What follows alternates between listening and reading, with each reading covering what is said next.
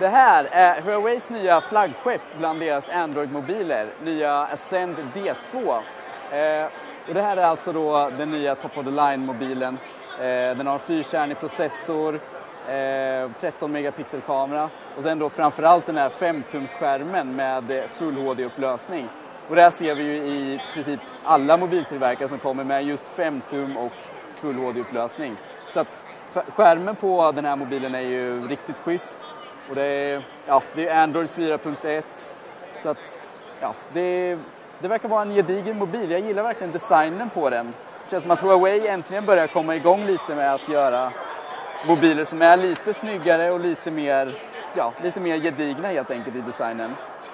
Så att den här ska släppas i februari någon gång och ja, känns som en bra mobil. Och innan jag glömmer bort det så är ju Ascend D2 även eh, vattentålig.